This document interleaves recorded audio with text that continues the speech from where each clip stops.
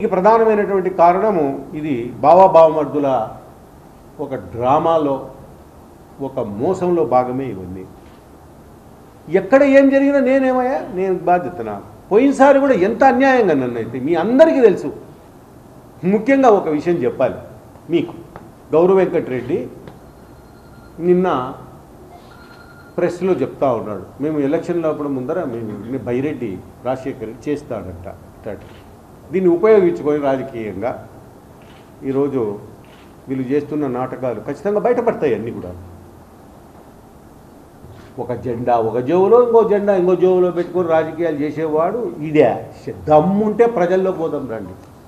ఎక్కడైనా సరే ఓపెన్ ఎంక్వైరీకి పోదాం రండి. ఎక్కడన్నా మీరు ఒక ఊరు సెలెక్ట్ చేసుకోండి. మీ ఊరికైనా రమ్మంటే వస్తా. మీరు చేసినది ఏంది ఈ ఐదు సంవత్సరాల్లో?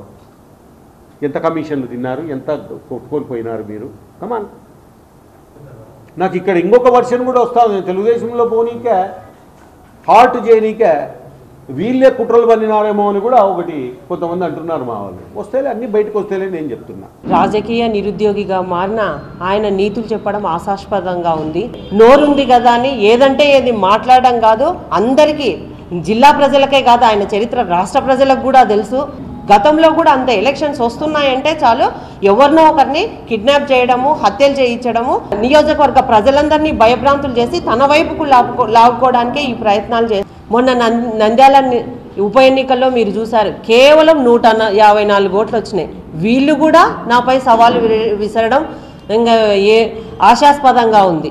ఓసారి నువ్వు ఓడిపోయావు రెండు వేల నాలుగులో రెండు వేల తొమ్మిదిలో కూడా నీ అభ్యర్థి ఓడిపోయారు.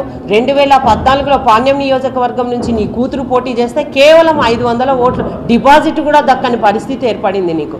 మేము తెలుగుదేశం పార్టీలో వస్తుంటే బావాబామర్దులు అడ్డుకుంటున్నారని చెప్తా ఉన్నారు. మేము ఇంకా ఆయన తెలుగుదేశం పార్టీలోకి రావడానికి మేము స్వాగతిస్తున్నాం. ఎందుకంటే పాణ్యం నియోజకవర్గం నుంచి రెండు వేల పంతొమ్మిది ఎన్నికల్లో పోటీ చేయమని చెప్పండి.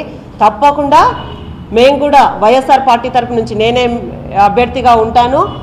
నియోజకవర్గ ప్రజలందరూ ఏం తీర్పు ఇస్తారో మీరే చూడండి.